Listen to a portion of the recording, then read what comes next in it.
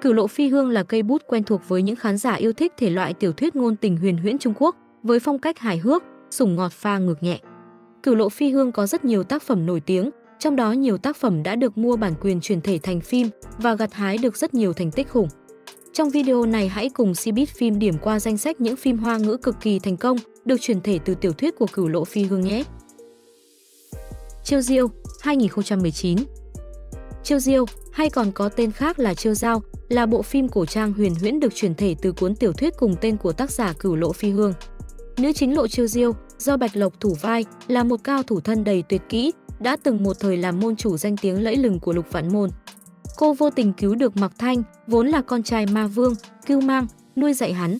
Trong một lần đi lấy kiếm vạn quân, Lộ Chiêu Diêu vô tình bị Mạc Thanh, do hứa khải thủ vai, dùng kiếm vạn quân đã thương.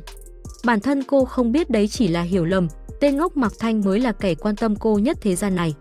Bao nhiêu năm Trương Diêu mang hận thù chờ ngày trả thù, là bấy nhiêu năm Mạc Thanh trông hóng, đau thương chờ một người mãi không về. Sau khi cô ra đi, Mạc Thanh tiếp quản lục vạn môn, cốt để giữ thiên hạ Thái Bình mà người nào đó đã dày xây dựng. Trong khi đó Trương Diêu thì tìm cách mượn hồn hoán xác với Chỉ Yên để về báo thù. Cuối cùng vì sự chân thành của Mạc Thanh mà hóa giải được hiểu lầm, cả hai về lại bên nhau. Trong phim lẫn trong chuyện đều có những cú quay xe bất ngờ khiến khán giả không khỏi ngỡ ngàng bật ngửa. Đồng thời cũng không thôi cảm thán tình yêu của Mạc Thanh dành cho Chiêu Diêu. Bộ phim sau khi phát sóng đã mang tên tuổi của Hứa Khải và Bạch Lộc đến gần hơn với khán giả. Và hai vai diễn này được cho là hai vai diễn để đời của cả Bạch Lộc và Hứa Khải. Chưa dừng lại ở đó, Chiêu Diêu còn là nền tảng vững chắc cho sự hợp tác sau này của cả hai trong dự án như Học viện Quân sự Liệt Hỏa. Ngự Giao Ký 2022 Ngự Giao Ký do Địch Lệ Nhiệt Ba và Nhậm Gia Luân đóng chính là bộ phim được chuyển thể từ tiểu thuyết cổ trang huyền huyễn cùng tên của tác giả Cửu Lộ Phi Hương. Lên sóng vào tháng 3 năm 2022 trên nền tảng Youku, Ngự Giao Ký là câu chuyện cảm động của giao nhân Trường Ý do Nhậm Gia Luân thủ vai và Thiên sư Kỷ Vân Hòa do Địch Lệ Nhiệt Ba thủ vai. Chàng giao nhân Trường Ý vốn có ý tốt khi cứu công chúa Thuận Đức, nào ngờ lại bị cô lấy oán báo ân sai thiên sư đi bắt hắn về làm vật sở hữu riêng. Thiên sư Kỷ Vân Hòa được giao nhiệm vụ thuần hóa Trường Ý và giao lên cho những kẻ bề trên. Nhưng trong quá trình đó, cô thấy được con người lương thiện của Trường Ý. Đồng thời, giao nhân này cũng thấy được sự tốt bụng và hoàn cảnh bị trói buộc của Vân Hòa. Cả hai người tìm được tiếng nói chung, muốn bảo vệ nhau khỏi số phận và kẻ ác. Nhưng cuối cùng cũng không thoát khỏi số mệnh, nhiều biến cố xảy đến khiến hiểu lầm chồng chất hiểu lầm. Cũng nhờ vậy mà Ngự Giao Ký làm mưa làm gió trên các nền tảng và được khán giả yêu thích nửa đầu 2022. Bên cạnh lời khen dành cho diễn viên chính, khán giả cũng không khỏi cảm thán về nội dung của câu chuyện và nhiều tình tiết gây cảm động trong tiểu thuyết gốc của Cửu Lộ Phi Hương. Ngự Giao Ký sau khi phát sóng đã gặt hái nhiều thành công, trở thành một trong số 20 bộ phim có sức ảnh hưởng nhất năm 2022 do sách trắng Weibo công nhận. Bộ phim cũng là tác phẩm đầu tiên phá nhiệt độ 10.000 của Youku.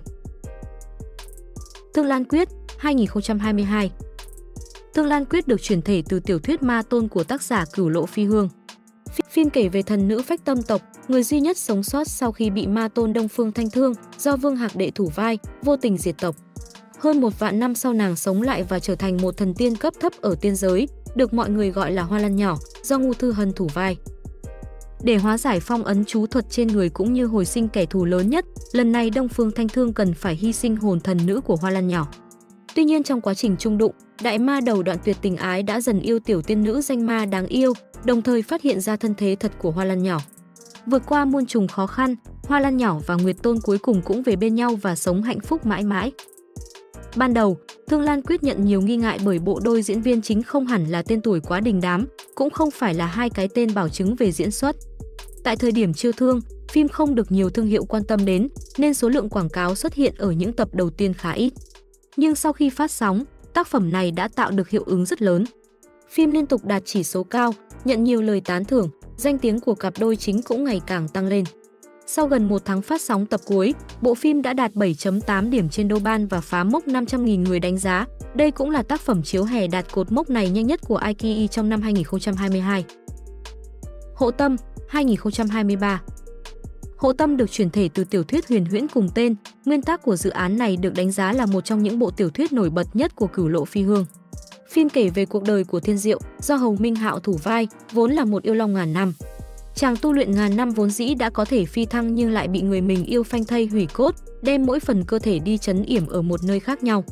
Nhưng Thiên Diệu nhanh trí ném nội đan và vảy hộ tâm của mình ra ngoài kết giới, không để chúng rơi vào tay tố ảnh. Những thứ này rơi xuống trần gian đã vô tình cứu sống một cô bé mắc bệnh tim tên Nhạn Hồi do Châu Giã thủ vai, giúp cô bé nhìn thấy yêu ma và sở hữu tu vi hơn người. Sau này, cô bé Nhạn Hồi trở thành đồ đệ của Lăng Tiêu chân nhân, theo ngài học tu tiên trên núi Thần Tinh. Nhưng 20 năm sau, vì mắc lỗi lầm nghiêm trọng nên Nhạn Hồi bị trục xuất khỏi núi, trở thành kẻ nghèo rớt mồng tơi. Trong một lần chạm trán xà yêu Nhạn Hồi bị mất hết linh lực.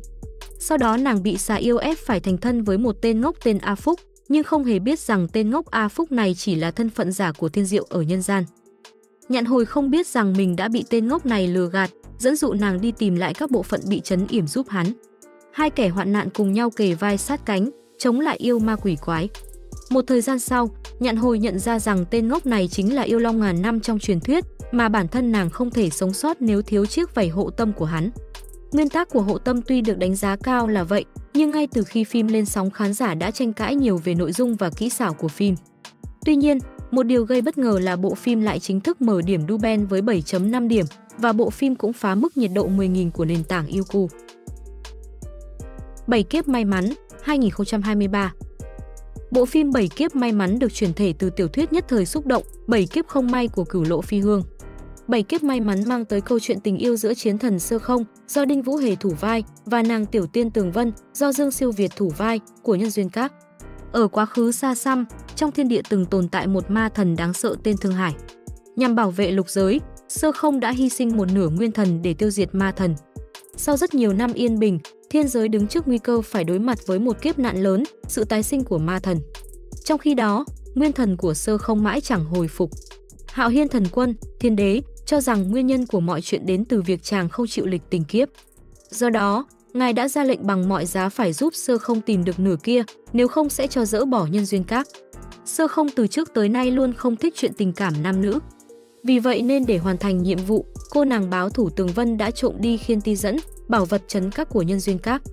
Đây là một món thần khí thượng cổ, tương truyền có thể xe duyên cho bất cứ ai. Vì đã nhận hối lộ của công chúa Đông Hải oanh thời, thế nên vốn dĩ Tường Vân muốn dùng khiên ti dẫn để kết đôi cho oanh thời và sơ không. Tuy nhiên, một sự cố xảy ra khiến bảy sợi tơ hồng cuốn vào tay của nàng và vị chiến thần mạnh nhất thiên giới. Do sơ ý, Tường Vân ngã xuống giếng hồng trần. Và bởi bảy sợi tơ hồng của khiên ti diễn đang nối hai người với nhau, sơ không cũng bị kéo xuống. Tường Vân và sơ không bất đắc dĩ phải xuống trần lịch kiếp cùng nhau. Sau khi trở lại, sơ không phát hiện nguyên thần của bản thân nhờ vậy mà phục hồi được một phần. Để sớm ngày lấy lại thực lực, Sơ không ra lệnh cho Tường Vân trở thành tiên lữ lịch kiếp, phải cùng chàng xuống trần gian thêm 6 lần nữa. Mỗi lần như vậy, cả hai lại trải qua đủ chuyện cùng nhau. Thế rồi, bí mật về mối duyên từ hàng vạn năm trước của họ từ đây cũng dần được hé mở. Giữ Phượng Hành 2024 Vốn là một trong các dự án phim hoa ngữ chưa chiếu đã hot, Giữ Phượng Hành nắm giữ nhiều lợi thế lớn khi được chuyển thể từ nguyên tác nổi tiếng bổn vương ở đây. Đồng thời, Chính tác giả Cửu Lộ Phi Hương, mẹ đẻ của tiểu thuyết gốc cũng đứng ra đảm nhận vai trò biên kịch cho dự án, hợp tác cùng đạo diễn tài hoa Đặng Khoa. Đặc biệt hơn cả, bộ phim còn đánh dấu sự tái hợp của hai ngôi sao hàng đầu hoa ngữ là Triệu Lệ Dĩnh và Lâm Canh Tân sau 7 năm kể từ sở kiều truyện. Trong phim, Triệu Lệ Dĩnh vào vai Thẩm Ly, nữ tướng quân của ma giới. Cô bị buộc phải thành hôn với một người đàn ông mình không yêu, vậy nên đã lựa chọn bỏ trốn xuống trần gian để thoát khỏi mối hôn sự này. Trên đường, Thẩm Ly bị trọng thương và gặp nạn nhưng may mắn được Hành Vân do Lâm Canh Tân thủ vai, cứu mang và giúp đỡ. Dần dần, cô đem lòng si mê Hành Vân mà không biết rằng người nọ chính là phàm thân chuyển kiếp của Hành Chỉ, vị thần quân cao cao tại thượng đã ban mối hôn sự hoang đường cho cô.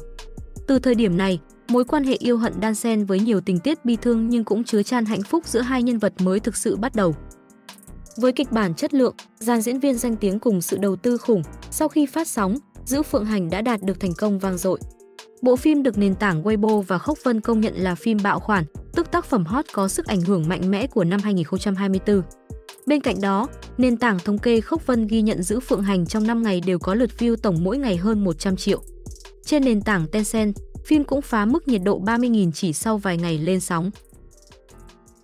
Ngoài những tác phẩm nêu trên, Cửu Lộ Phi Hương vẫn còn nhiều tác phẩm khác như Giữ Tấn Trường An, Ti Mệnh, Trường Sinh, Hòa Ly, Mạnh Như Ký, Đồng Thể.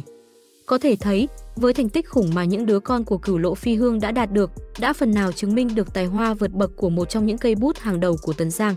Hiện tại, tác phẩm Giữ tấn Trường An đã được triển khai với hai diễn viên chính là Tống Giật và Thừa Lỗi. Hứa hẹn sẽ tiếp tục thành công và bùng nổ trong thời gian tới. Bạn đã xem được những bộ phim nào chuyển thể từ tiểu thuyết của tác giả Cửu Lộ Phi Hương?